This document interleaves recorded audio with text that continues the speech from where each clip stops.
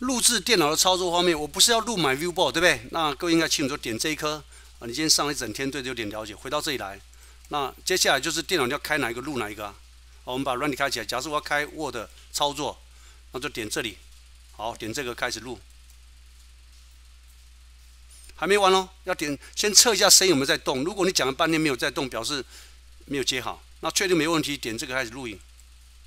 好，那录影建建议用当前的解析度。如果在 YouTube 这个比例会比较合适。如果选这个的话呢，两边会黑黑的，这个会比较合适啊。现在都四比三了，那三二一就开始录喽。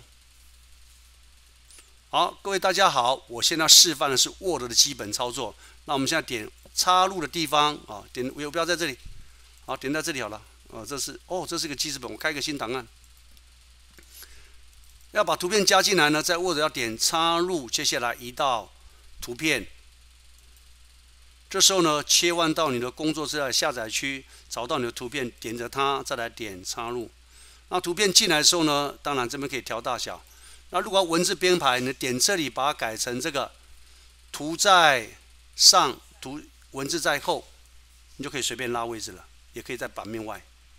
好来，那介绍完毕的话，点这里，录了四十二秒。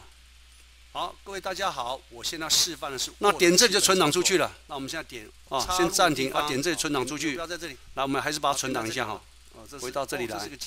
呃，在 video 里面呢，要把图片加进来呢，在 Word 要点插入 V 二好了，比较好找。按图打勾，那都储存下来了。所以我们开起来看一下，在影片这里有个叫 V 二了，按两下开起来。好，各位大家好。所以现在你现在看到这是我刚把 Word 的操作过程整个录下来。插入的地方啊，可以不要在这里。所以你可以拿这个来录电脑的教学影片。这是个记事本，我开个新档案。它是个 MP4，MP4 当然，老师我想再加片头加什么 logo，你可以去威力导演什么做编辑啦。OK，图片